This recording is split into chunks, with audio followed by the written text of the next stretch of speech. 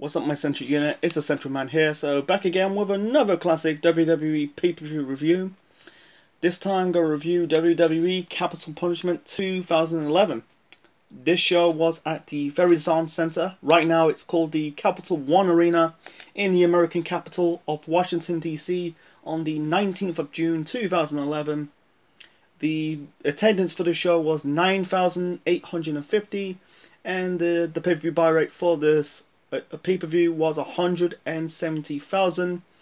This is the first and only capital punishment pay-per-view in WWE history. I think this pay-per-view is built around R-Truth. This is basically R-Truth's first and only uh, WWE title match. I'll get to that match later on in this review. Anyway, um, you know, and this, you know, the the set of Capital Punishment was good, man. You know, they had the the White House set. That was really cool. You know, looking back, you know, six years ago to that WWE to compare to the WWE right now, it's you, you see the, the same old Triton song you see on Raw and SmackDown. Anyway, so the commentators for the show are Michael Cole, Jerry the King Lawler, and Booker T. Booker T, nah, he was never that good on, on commentary. You know, like in 2011, he was doing the whole uh, Fave 5, you know, every time on SmackDown, on pay-per-views. You know, I think he's doing shows on the. He's just doing. He's showing. He's only appearance on pre-shows on every time the pay-per-views around. You know, at least he's still on WWE television. Anyway, let's do the uh, quick results in the dark match. The dark match was we've got uh, Santino Marella and Vladimir Kozlov defeating Heath Slater and Justin Gabriel. The first match to kick off Capital Punishment 2011 uh, we got the United States title match between Kofi Kingston versus Dolph Ziggler with Vickie Guerrero in Dolph's corner. Dolph had a change in 2011 by his uh, look. You know, he kind of, you know, had a, a haircut. You know, he dyed his hair brown. And then later on, he kind of dyed his hair back to bleach blonde. Yeah, this match was really good. A good opener, like back and forth. And like, like right now, the you know two guys are not really relevant you know, Kofi is kind of relevant, but he's kind of like the whole stuff with the New Day thing, it was getting stale. As for Dolph, you know, he's dubbed as, you know, he's a ripper. He, they dubbed, you know, they're trying to make him Dolph into a, you know, Shawn Michaels knockoff, you know. That is, that's then, but, not, not then, but that is now, but then, you know, the both are really relevant. You know, anyway, so, back, really back and forth, you know, I think Dolph did a finisher, you know, not finisher, the famous, uh, you know, basically some people for years comparing, uh, really comparing Dolph Ziggler, he's a, a Billy Gunn knockoff. I think he did it on Kofi. Kofi is sometimes kind of teasing an, uh, a trouble in paradise um, onto Dolph. I think Dolph, you know, Dolph really, you know, I'm glad he did, didn't see it in this match. I think like Dolph kicked out the SOS, you know, that's Kofi's finisher. Basically like um, I think it's a Russian leg sweep uh, roll up that's the SOS. That's Kofi's second finisher. Um, you know, he did, you know, you know, you know, Dolph did multiple like elbows to Kofi's chest.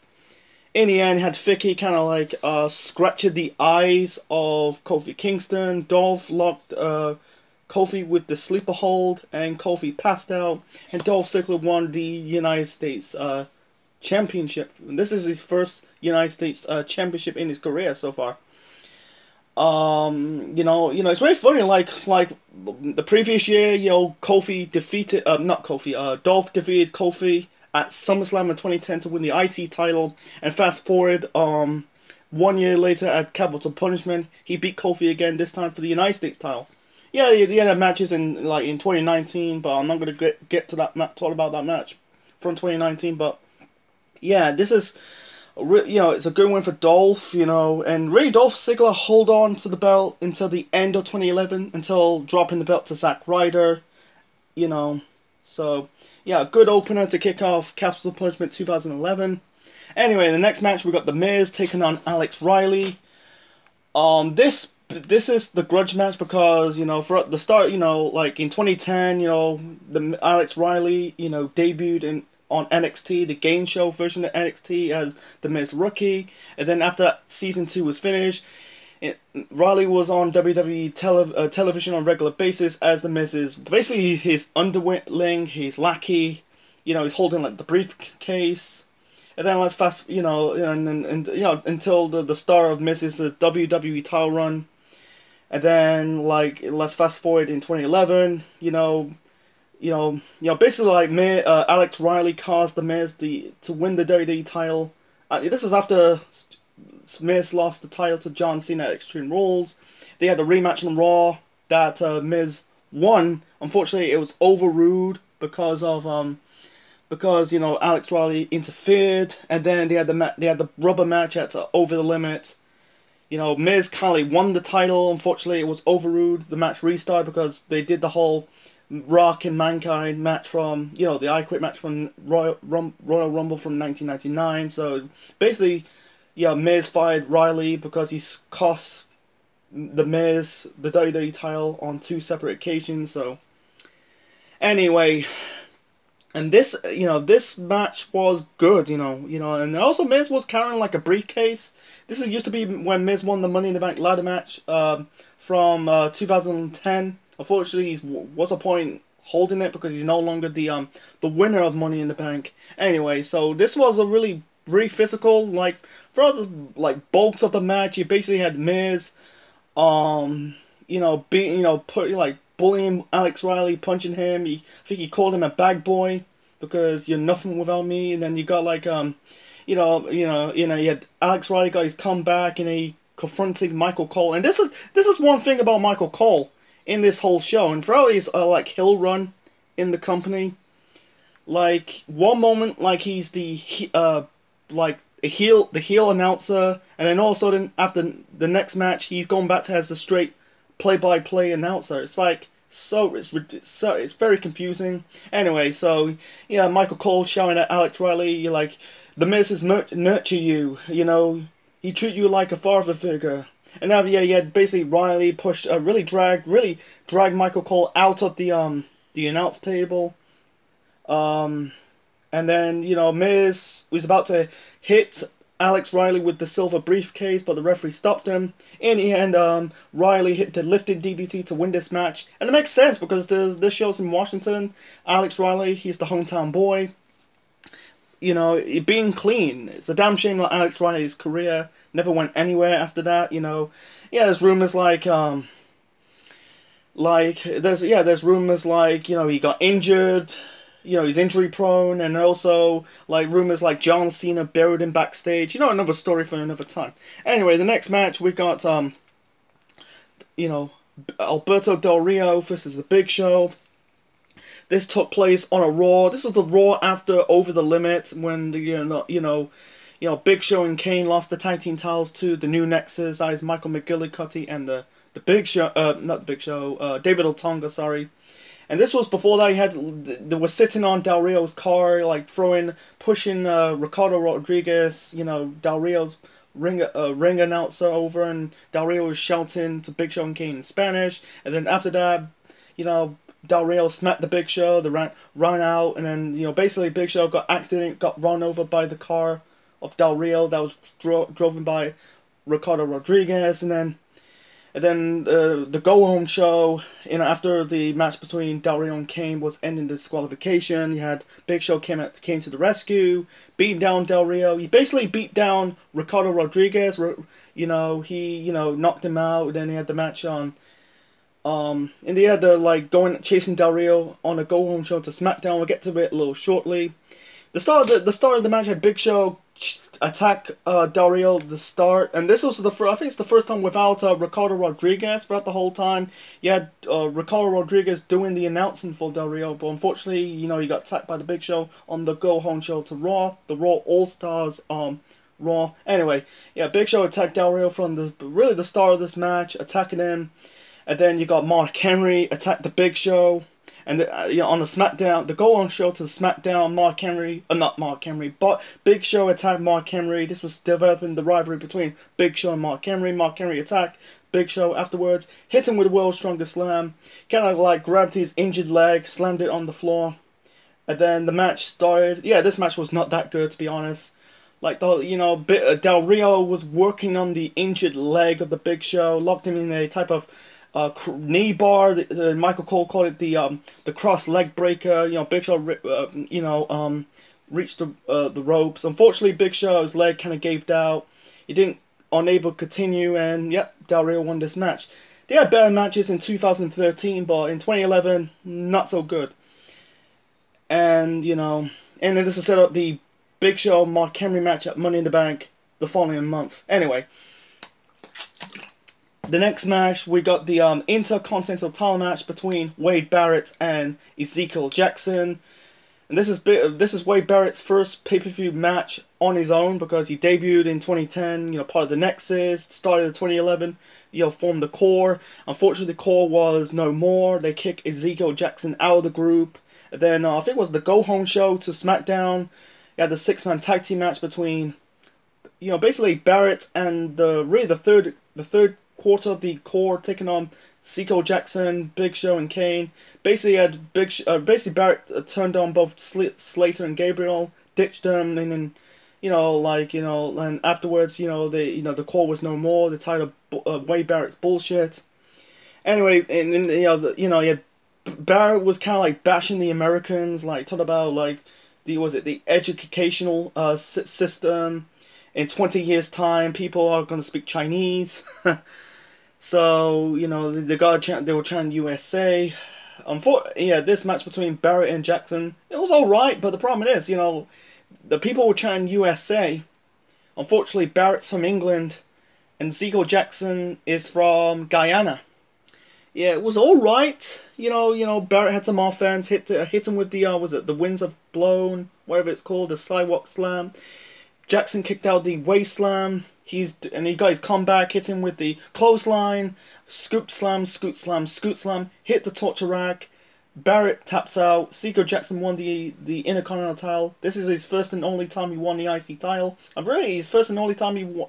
You know, yeah, he won the ECW title, but yeah, this is the first time he won, first and only time he become Intercontinental Champion. Afterwards, you had Jerry the King Lawler cut uh, really cut a post interview with Ezekiel. And Ezekiel says, I've established his, his own um, independence, you know.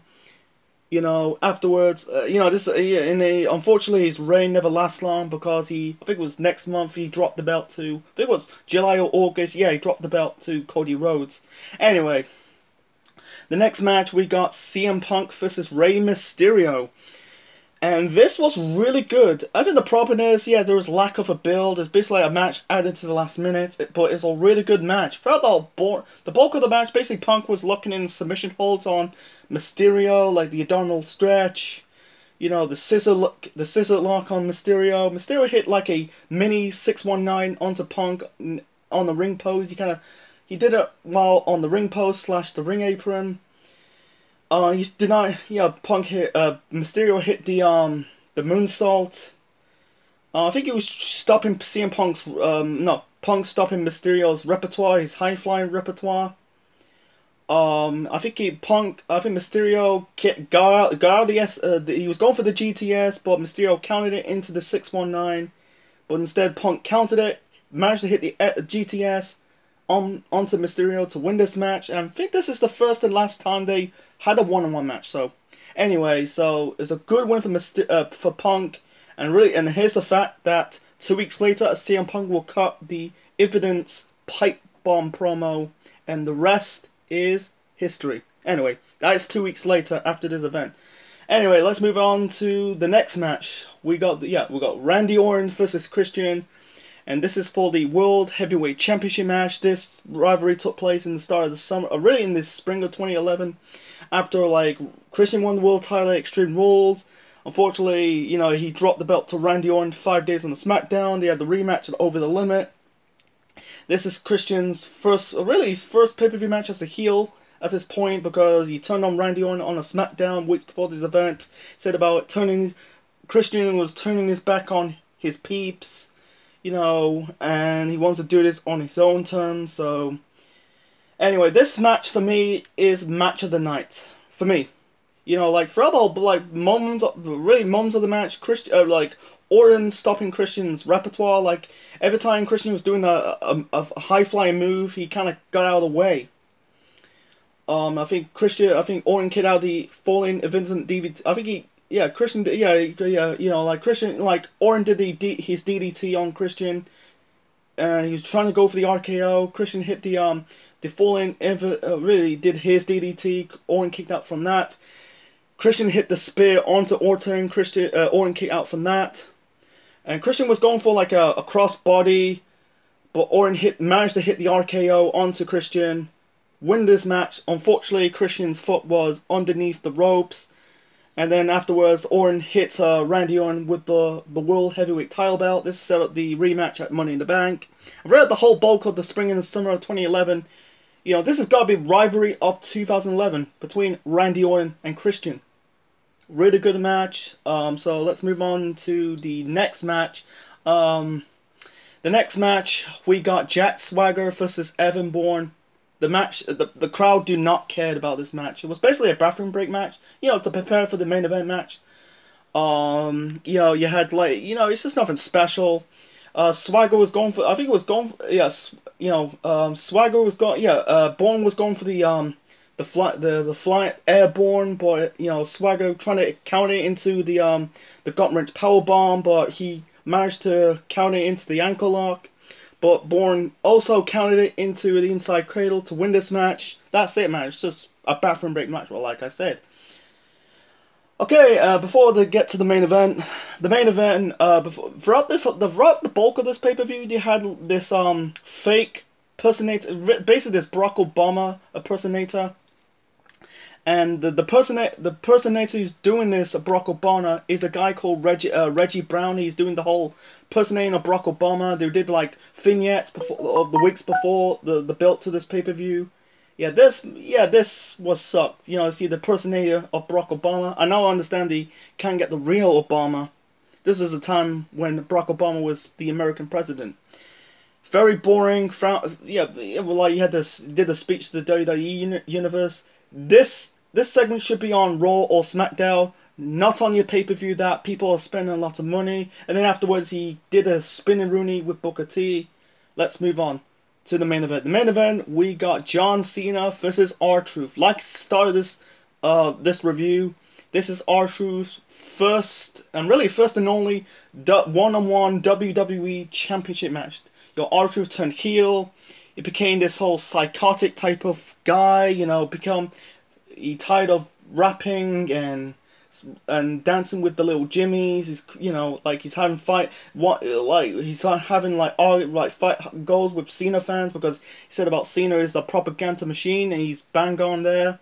Like there was no build to this match between Cena and R Truth. Like one moment, like one match uh, a week before Raw, he had R Truth like snatch a drink onto the uh, onto a John Cena fan, and you know R Truth throw a drink into the dad of the Cena fan that's the build up, and then also he did the whole, you know, Punk dressed up. Uh, um, Truth was dressing up like Stonewall Jackson.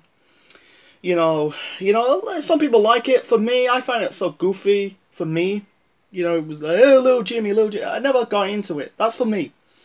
Yeah, this match between Truth and Cena, not a good match, to be honest, in my opinion. Just a boring match. It was six, It was 15 minutes. I thought it was like 20 minutes, but it's 15, 15, 15 minutes long of a boring match between Truth and Cena. They are good workers, but there's no chemistry between Cena and Truth. I think like um, he hit the scissor, you know, Truth hit the scissor kick, he hit hip toss. I think he hit the shut up, and he hit like this type of um type of DDT stunner, or you know, he was going for like Seth Rollins' Black Arrow, but turned it into a stunner onto Cena, that was cool. But yeah, basically in the climax to this match, you basically R Truth gone towards a Cena fan, took really took his hat, took his drink, he gave it back to the fan. The fan threw the drink onto R Truth. Cena grabbed, really put R Truth back in the ring, hit the AA onto R Truth to win this match and retain the WWE uh, Championship. And Cena brought the the little fan into the ring.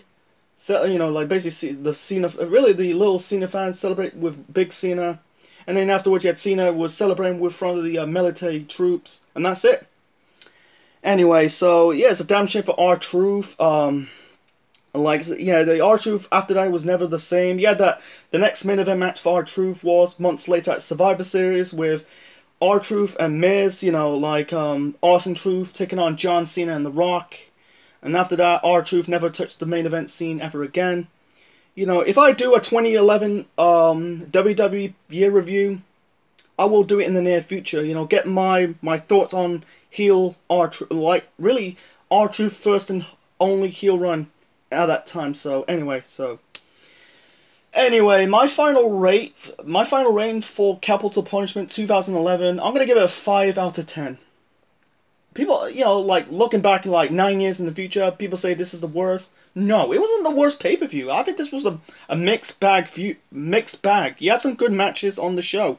You got the opener between uh, Kofi and Dolph for the U.S. title. Alex Riley of the Miz. That was a good match.